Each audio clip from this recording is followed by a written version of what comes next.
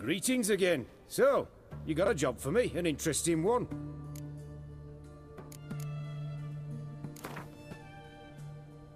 Let's play cards. Gwent wouldn't be bad.